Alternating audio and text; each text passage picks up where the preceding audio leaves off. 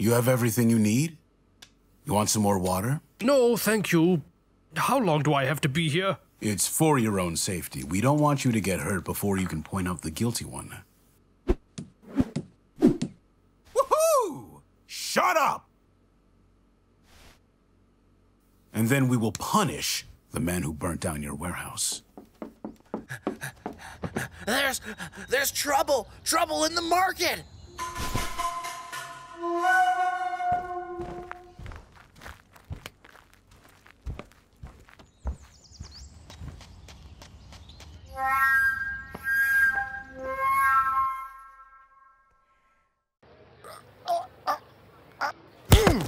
Oi!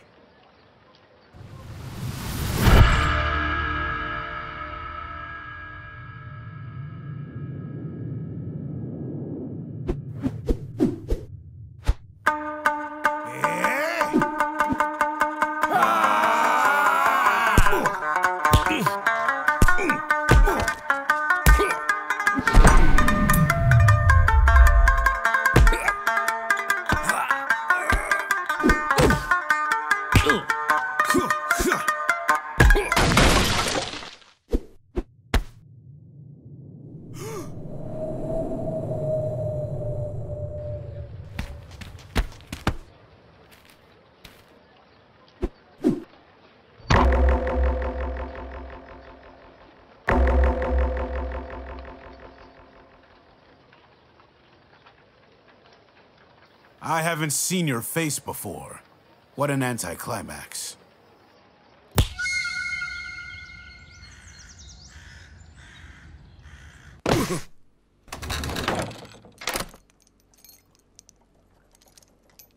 I'm going to court with some documents. You're in charge.